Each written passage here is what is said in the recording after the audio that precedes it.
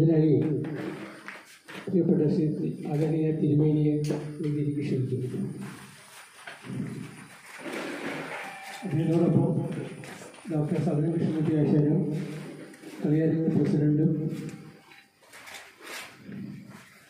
ജീവിതത്തിലേക്ക് പങ്കുചേരണമെന്ന് അഭ്യർത്ഥിക്കുന്നു.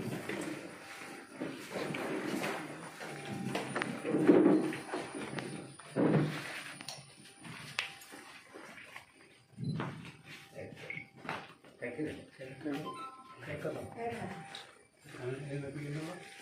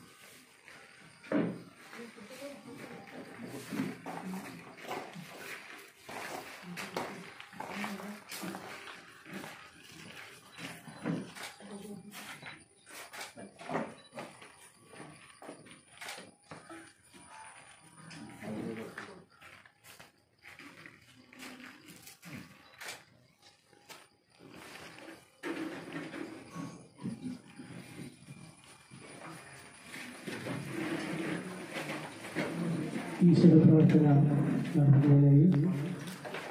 శ్రీవారి స్నేహతోనే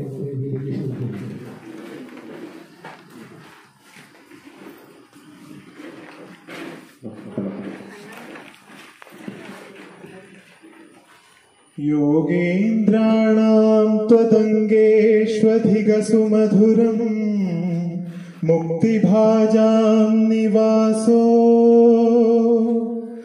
ഭക്താനാം കാമവർഷ ദ്യുതരുകി സലയം. നാഥത്തെ പാദമൂലം. നിത്യം ചിത്തസ്ഥിതം മേ പവനപുരപദേ കൃഷ്ണ. കൃഷ്ണ.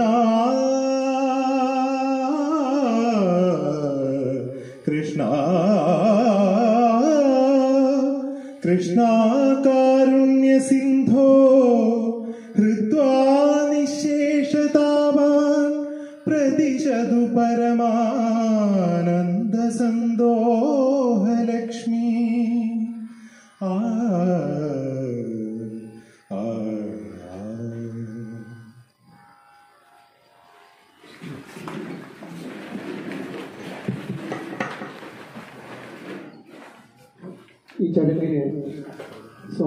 ആശംസിക്കുന്നതിനായി പറവൂർ കളിയരങ്ങിന്റെ വൈസ് പ്രസിഡന്റ് അഡ്വക്കേറ്റ് ജി പത്മരാജിനെ വേദിയിലേക്ക് ക്ഷണിക്കുന്നു.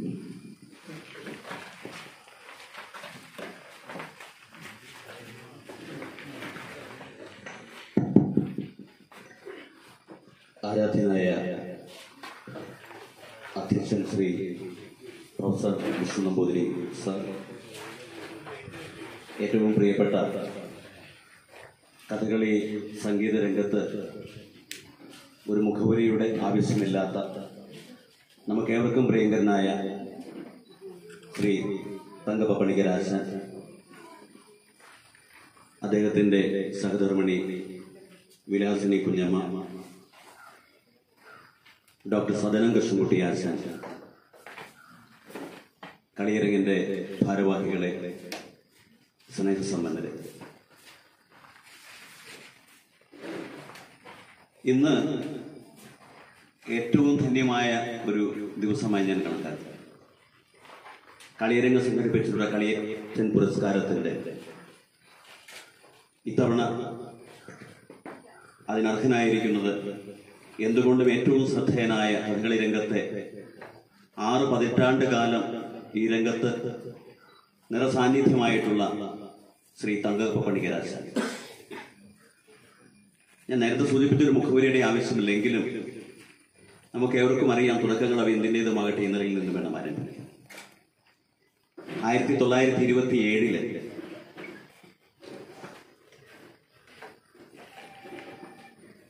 വയലാറ് മണ്ണട വാസുദേവ പണിക്കരുടെയും ചേർത്തല വാരിയാട്ട് നാണിയമ്മയുടെയും മകനായിട്ടാണ് അദ്ദേഹം ജനിച്ചത്. തുടർന്ന് ഹൈസ്കൂൾ വിദ്യാഭ്യാസം അതിനുശേഷം സംസ്കൃതത്തിലെ ശാസ്ത്രി പഠനം വരെ അദ്ദേഹം പൂർത്തിയാക്കുകയുണ്ടായി.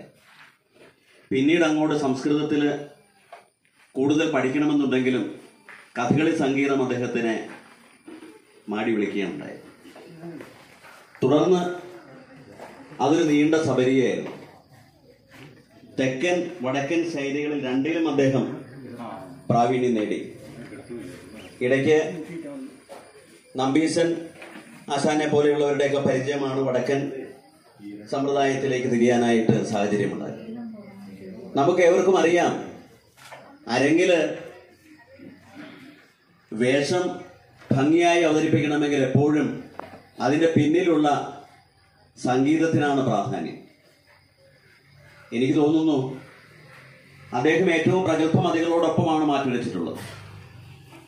കലാമണ്ഡലം ശങ്കരമ്രാന്തിരിയും ഹൈദരാലിയും ഒക്കെ അദ്ദേഹത്തിനൊപ്പം പാടിയിട്ടുണ്ട്. അപ്പോഴൊക്കെ അദ്ദേഹം ഒന്നാം പാട്ടുകാരനായിരുന്നു.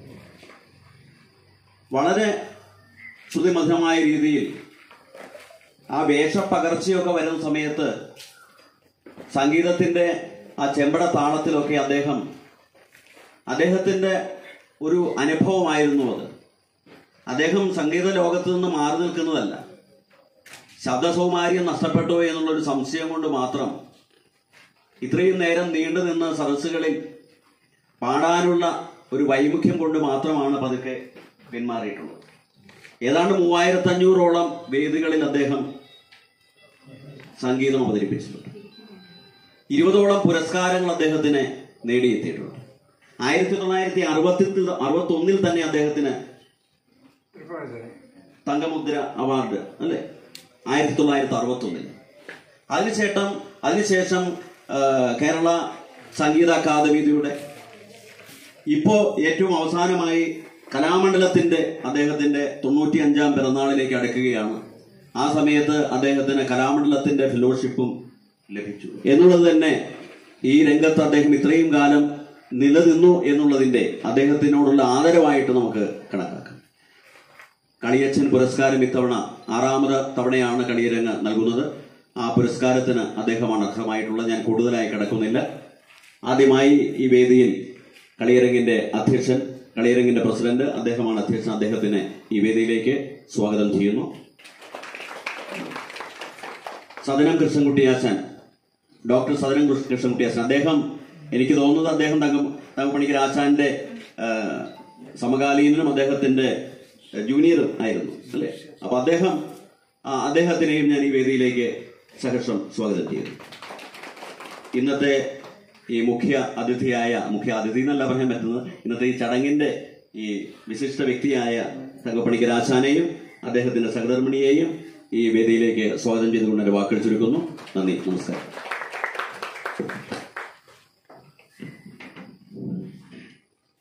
അധ്യക്ഷ പ്രസംഗത്തിനായി Kaliyarangu president professor K N Vishnupuri സാറിനെ ക്ഷണിക്കുന്നു.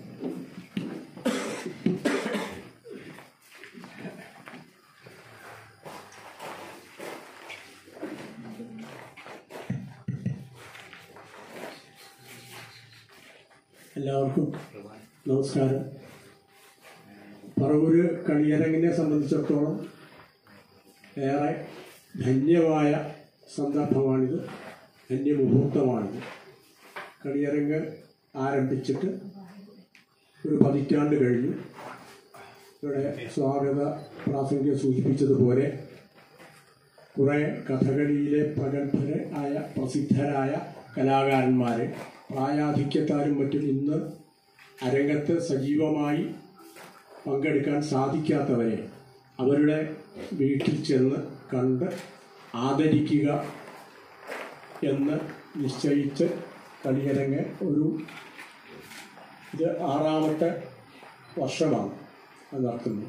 അപ്പോൾ അതിൽ ഞങ്ങൾക്ക് അങ്ങേറ്റം സന്തോഷം ഒരു മുഹൂർത്തമാണിത് എന്ന് പറഞ്ഞത് അതുകൊണ്ടാണ്. തങ്കപ്പടിക്കലാശാനെ കുറിച്ച് അദ്ദേഹത്തിന്റെ പാട്ട് ഞാൻ കുട്ടിക്കാലം മുതൽക്ക് കേട്ടുവരുന്നതാണ് പ്രധാനമായിട്ട് ഞാൻ ആ ഓർമ്മ ശരിയാണെങ്കിൽ ആദ്യം ഞാൻ കേൾക്കുന്നത് നമ്പീശ്വരാശാനോടൊപ്പം പാടുന്നതാണ്. പിന്നീട് പൊന്നാനിയായി പാടുന്ന ഒട്ടേറെ അരങ്ങുകൾക്ക് മുമ്പിൽ ഞാൻ കാഴ്ചക്കാരനായിട്ട് ശ്രോതാവായിട്ട് അങ്ങനെ ഉണ്ടായിരുന്നു പ്രത്യേകിച്ചും ശാസ്ത്രീയ സംഗീതത്തിന്റെതായ ഒരടിത്തറ ഉള്ളത്. അദ്ദേഹത്തെ സംബന്ധിച്ചിടത്തോളം ഏറെ ഈ രംഗത്ത് പ്രയോജനപ്പെട്ടിട്ടുണ്ടെന്നാണ് എനിക്ക് തോന്നിയിരുന്നത് സാധാരണയ്ക്ക് മുമ്പ് കഥകളിയിലെ സംഗീതത്തിന് അത്രയൊന്നും ശാസ്ത്രീയത നിഷ്കർഷിക്കപ്പെടാറില്ല എന്ന് തോന്നുന്നു. പലരും കഥകളി സംഗീതം പഠിച്ചു.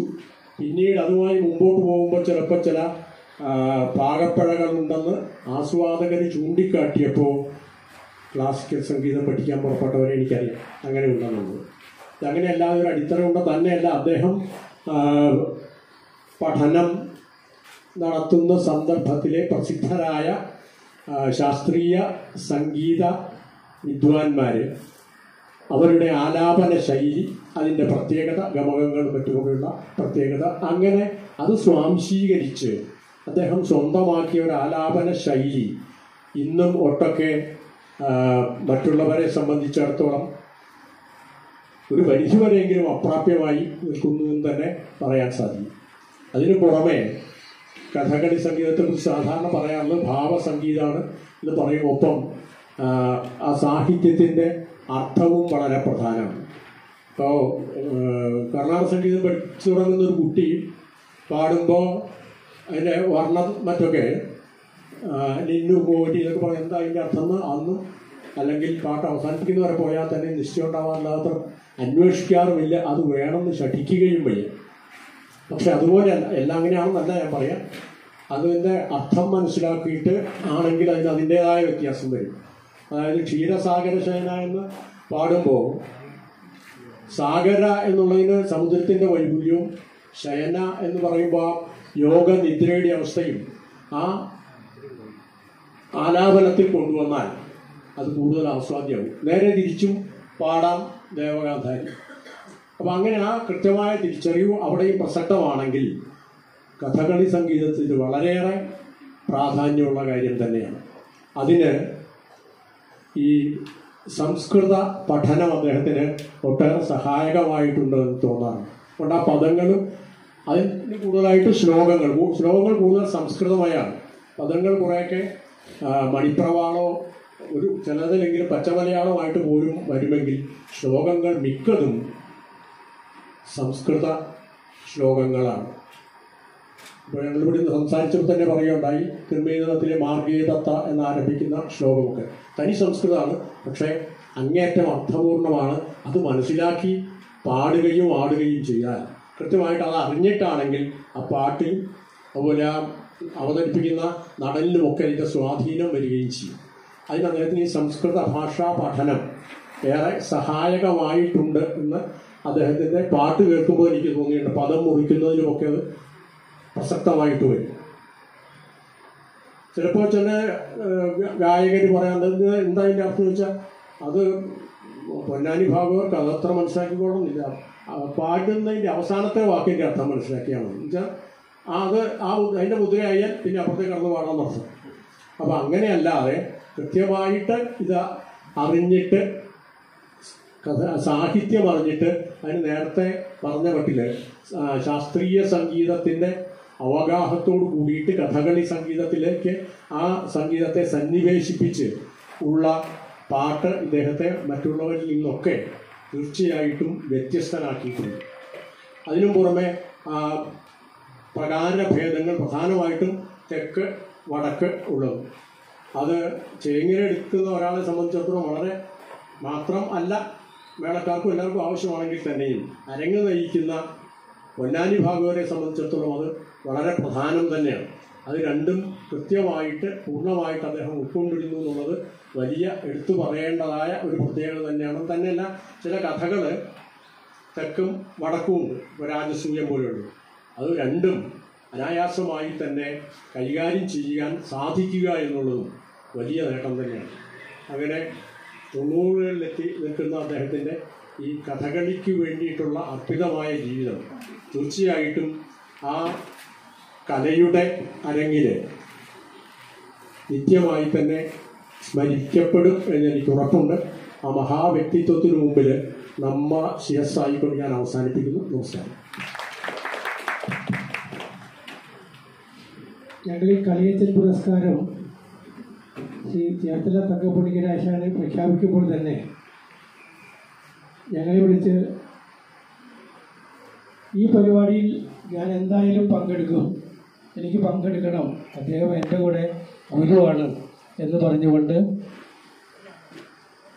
ഞങ്ങളെ അറിയിക്കുകയും ഇന്ന് രാവിലെ തന്നെ പറവൂർ എത്തിച്ചേരുകയും ചെയ്ത ഡോക്ടർ സദനം കൃഷ്ണകുട്ടിയാശാൻ നമ്മളോട് സംസാരിക്കുന്നതാണ്.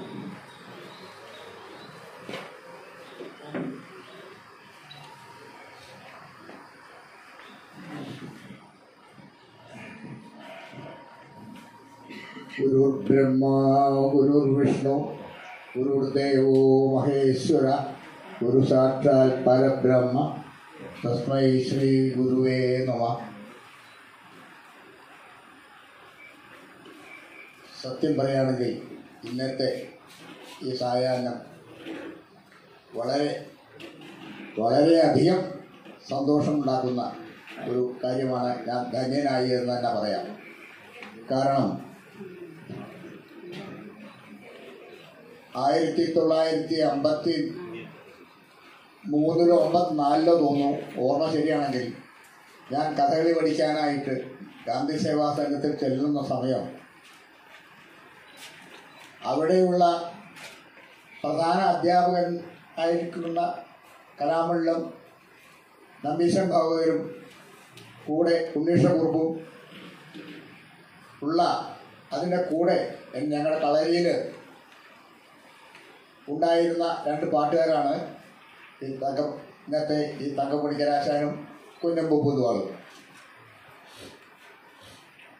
അതുപോലെ ചെണ്ടയ്ക്ക് ചന്ദ്രമണ്ണാടിയർ മദ്രത്തിന് പാലൂർ അച്ചു നായർ വേഷം പഠിപ്പിക്കാനായിട്ട് തേങ്കാട്ടിലെ രാവണിനാരാശാനും അങ്ങനെ ഇന്നത്തെ കൂട്ടത്തിൽ അല്ല അന്നത്തെ ഇവർക്ക് എല്ലാം ശിക്ഷപ്പെട്ടവരാണ് ഞങ്ങളെല്ലാവരും. വേഷമെന്നോ കൊട്ടെന്നോ പാട്ടെന്നോ വ്യത്യാസമില്ലാതെ ഞങ്ങളുടെ ഭാവി അവരുടെ കയ്യിൽ സുരക്ഷിതമാണ് എന്നുള്ള തോതിൽ ഞങ്ങളെ ഉണ്ടാക്കും. ഞങ്ങളെല്ലാം എല്ലാം വിദ്യാർത്ഥികളും വളരെ അച്ചടക്കത്തോടുകൂടി അവരുടെ മുമ്പ് ശിഷ്യന്മാരായി നിൽക്കും. അങ്ങനെയുള്ള ഒരു കാലത്താണ് ഞാൻ സദനത്തിൽ പഠിക്കാൻ ചെന്നത്. അന്ന് എന്റെ കളരിയിൽ ഉണ്ടായിരുന്ന പ്രധാന പാട്ടുകാരനാണ് തങ്കപ്പണിക്കരാശാൻ ഞങ്ങളുടെയൊക്കെ അച്ചടക്കത്തിന്റെ കാര്യത്തിലൊക്കെ വളരെ നിഷ്കർഷയുണ്ടായിരുന്ന ഒരു ഒരു ആശാൻ കൂടിയായിരുന്നു തങ്കപ്പണിക്കരാശാൻ മറ്റുള്ളവർക്ക് ഇല്ല എന്നുള്ളതല്ല എങ്കിൽ കുറച്ച് കർശനമായിരുന്നു എന്നുള്ള ഇതാണ് അത്യാവശ്യം ചുണ്ടി വരും എന്നുള്ളത് ശരിയാണ് അദ്ദേഹത്തിന്. പെട്ടെന്ന് വരും. എന്നാലും അതല്ല പ്രധാനം. എന്തെങ്കിലും അനുസരണക്കേട് കാട്ടിയാൽ ചോറിലെടുത്ത് അടിക്കാൻ പോലും മടിക്കാത്ത ഒരു വ്യക്തിയായിരുന്നു. ഞാൻ അനവധി അടി മേടിച്ച ആളാണ്. അത് ഇപ്പോഴും എന്റെ പുതുകത്തുണ്ടാവും എനിക്കറിയാം. അത് എന്തിനു വേണ്ടിയിട്ടാണ്? എന്റെ ഭാവി കണ്ടുകൊണ്ട്. അതുകൊണ്ട് ഇന്നിപ്പോൾ ഈശ്വരനെ സഹായിച്ച് ഗുരുനാഥന്മാരുടെ അനുഗ്രഹം കൊണ്ട് പത്ത് പന്ത്രണ്ട് വയസ്സുമായി ഇന്നും വലിയ കുഴപ്പമൊന്നുമില്ലാതെ കണ്ട് അരങ്ങത്ത് പ്രവർത്തിച്ചു വരുന്നു. അതിന്റെ പുറമെ എനിക്ക് പലതരത്തിലുള്ള അഭിനന്ദനങ്ങളും ഈ അടുത്ത കാലത്തായിട്ട് ഒരു ഡോക്ടറേറ്റ് കൂടി കിട്ടിയപ്പോൾ ഏറെ ഇതിന്റെയൊക്കെ കാരണക്കാരൻ ഉള്ള പല ആശാന്മാരുണ്ടായിരുന്നു അവരെല്ലാം മൺമറഞ്ഞു പോയി. ഇനിയിപ്പോൾ ഈ ഈ ഒരൊറ്റ ഗുരുനാഥൻ മാത്രമേ എനിക്ക് ഉള്ളത് അതുകൊണ്ടാണ് ഞാൻ ഇത് തീരുമാനിച്ചപ്പോൾ ഞാനും വരാം. എനിക്ക് വരണം. കാരണം ഇങ്ങനെ ഒരു ഫംഗ്ഷൻ ഉണ്ടാക്കാനൊന്നും എന്നെ കൊണ്ട് ചിലപ്പോൾ പറ്റിയെന്ന് വരില്ല. അതിനൊക്കെ കുറച്ച് ബുദ്ധിമുട്ടുള്ള കാര്യമാണ്. എന്നാൽ ഇങ്ങനെ ഒന്നാവുമ്പോൾ പറവൂർ ക്ലബ്ബായിട്ട് വളരെ കുട്ടിക്കാലം മുതൽ തന്നെ ഞാൻ ബന്ധപ്പെട്ടുള്ള ധാരാളം കളികൾക്ക് പങ്കെടുക്കും ധാരാളം അവിടുന്ന് അഭിനന്ദനങ്ങൾ കിട്ടിയ ഒരു കുട്ടി എന്നുള്ള നിലയ്ക്ക് ഞാൻ വന്നോളാന്ന് പറയും. അത് പ്രകാരം അദ്ദേഹത്തിന് അദ്ദേഹം ഈ ചടങ്ങിൽ എനിക്ക് ഭാഗവാക്കാക്കാൻ സാധിച്ചതിൽ ഞാൻ കൃതാർത്ഥനായി ദൈവത്തിന്റെ മുമ്പിൽ ഞാൻ അദ്ദേഹത്തിന്റെ പാദങ്ങൾ നമസ്കരിച്ചുകൊണ്ട് എന്റെ വാക്കുകൾ ഉപസംഹരിക്കുന്നു നന്ദി നമസ്കാരം.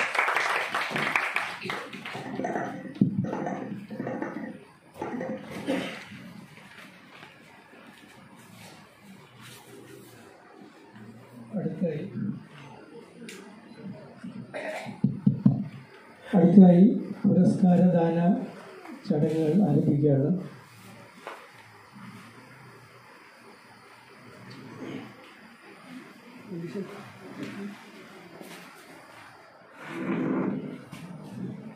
ആദ്യമായി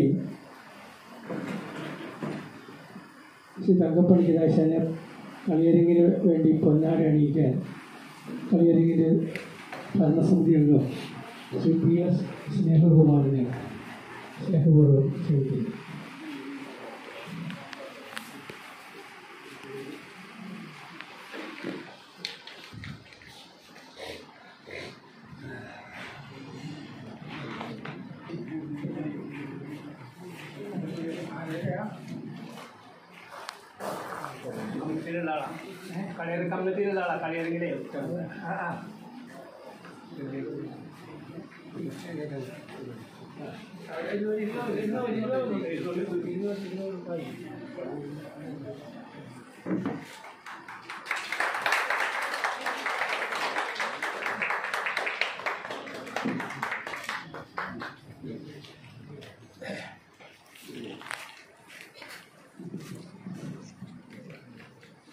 പുരസ്കാര തുകയായ പതിനോരായിരത്തി ഒരുന്നൂറ്റി പതിനൊന്ന് രൂപ അദ്ദേഹത്തിന് നൽകുന്നതിന് പ്രസിഡന്റ് പ്രൊഫസർ കെ വിഷ്ണുപൂരിജിയോട് അഭ്യർത്ഥിക്കുന്നു.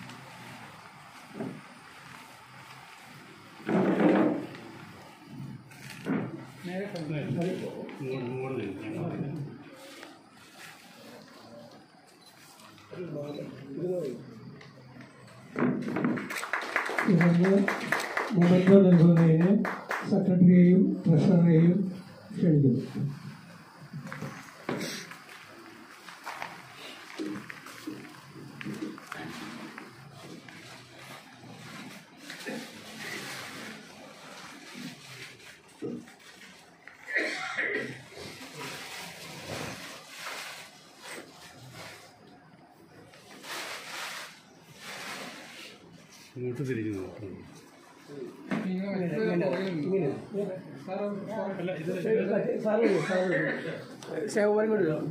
തിരിഞ്ഞു ഇങ്ങോട്ട് ഞാനങ്ങോട്ട്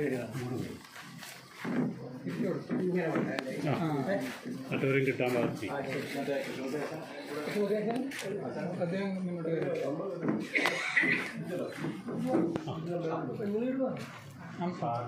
സൈഡിൽ ചേട്ടാ ചേട്ടാ വരും ഓക്കെ ആ തന്നോട്ടെ.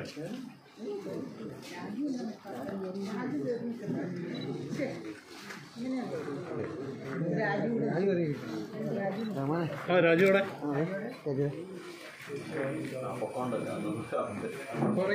രാജു അവിടെ വാ. സാറിന്റെ അടുത്ത് വാ. അമ്മയുടെ പിന്നിലായിട്ട് വന്നു.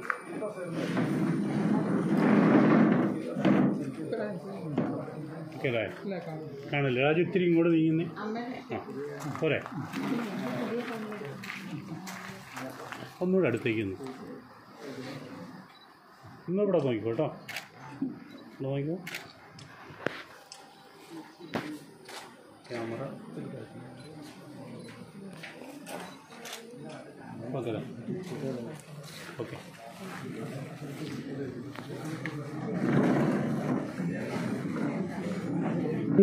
അർപ്പിക്കാനുള്ള സമയമാണ്. സഹൃദയരായ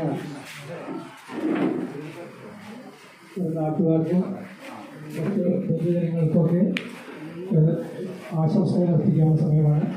ദയവായി മുന്നോട്ട് വന്ന് ആശംസകൾ അർപ്പിക്കാം.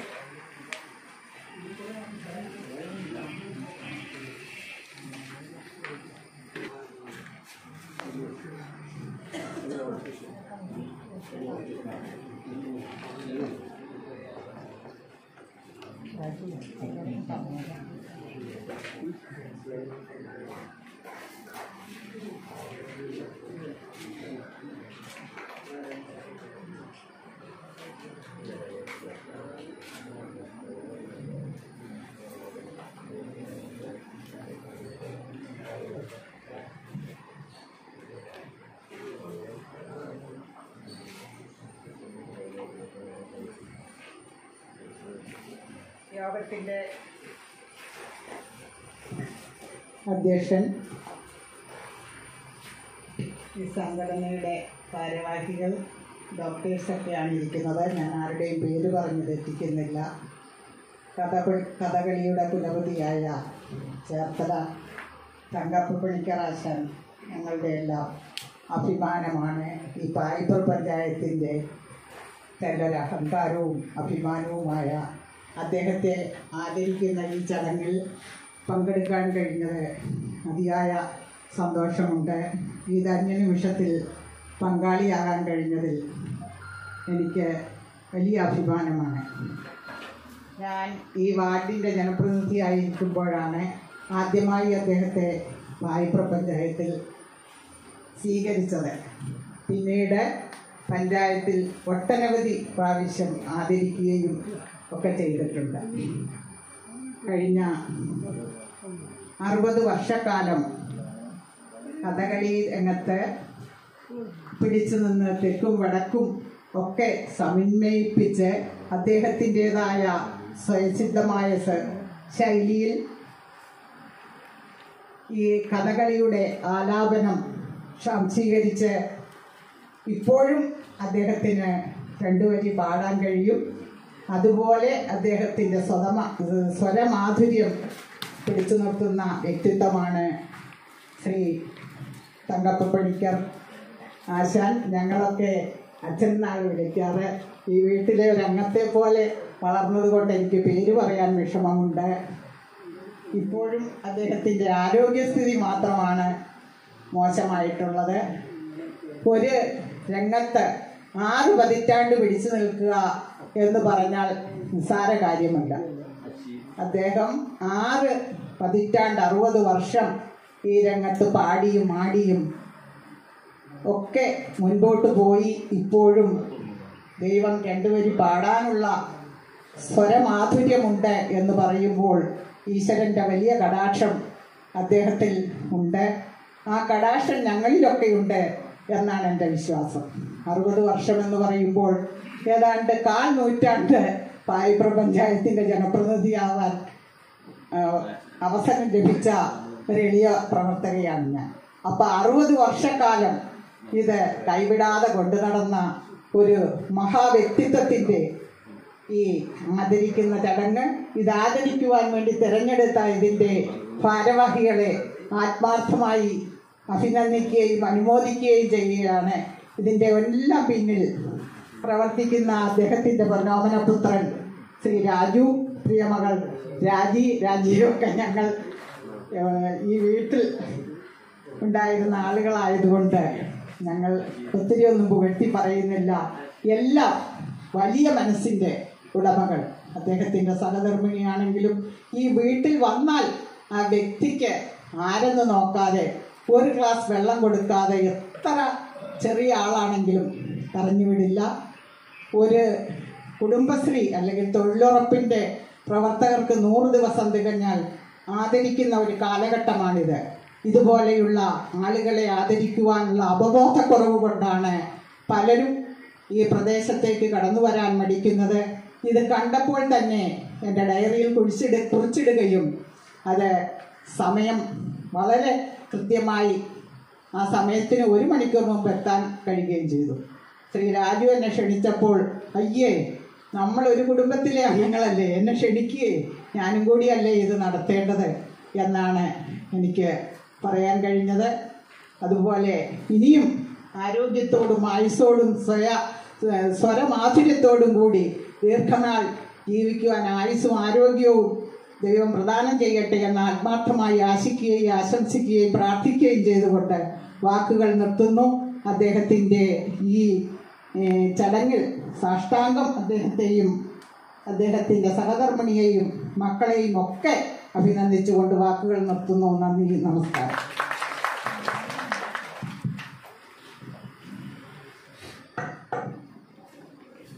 മറ്റൊരു സന്തോഷ നിമിഷം കൂടി ഈ സമയത്ത് ഈ സാഹചര്യത്തിൽ ഈ മുഹൂർത്തത്തിൽ അരങ്ങേറുന്നു. ശ്രീ കങ്കപ്പൻ കുടുംബാംഗങ്ങൾ അവരുടെ ഒരു സ്നേഹപ്രകടനമായി ഈയിടെ അശീതി ആഘോഷിച്ച ഡോക്ടർ സദനം കൃഷ്ണൻകുട്ടി ആശാനെ ഒരു പൊന്നാട അണിയിച്ച് ആദരിക്കുന്ന ചടങ്ങാണ്. അതിനായി ശ്രീ രാജുവിനെ സ്നേഹപൂർവം ക്ഷണിക്കുന്നു.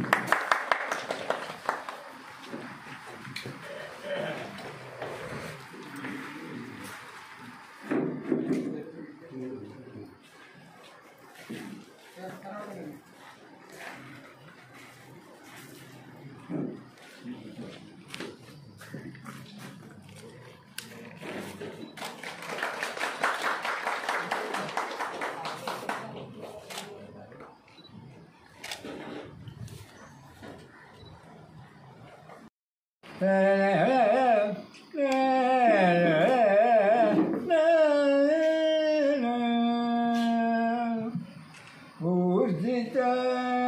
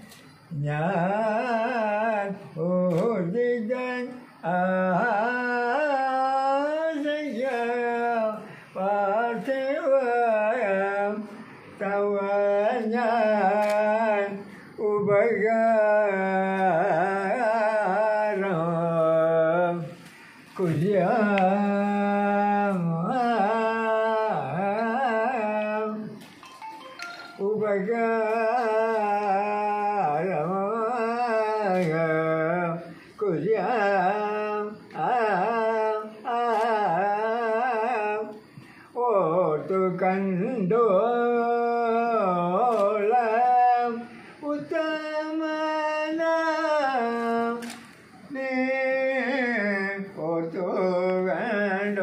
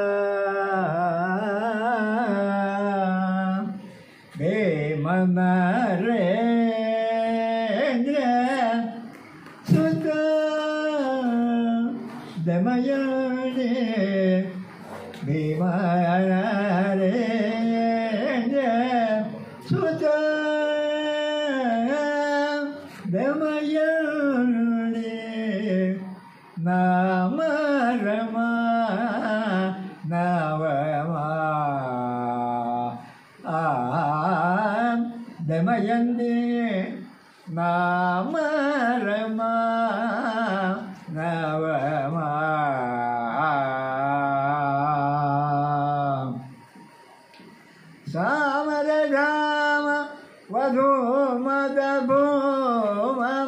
स अमरदा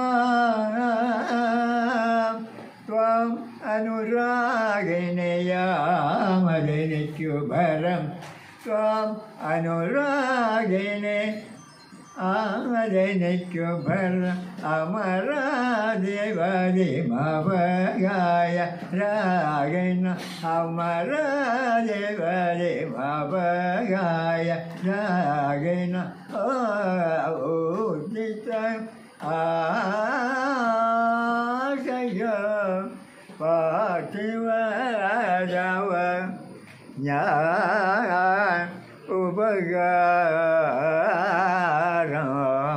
കുര്യാം.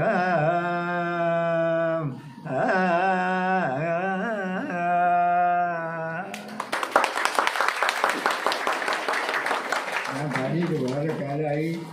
ഇപ്പോൾ ശബ്ദവും വളരെ കട്ടിയാണ്.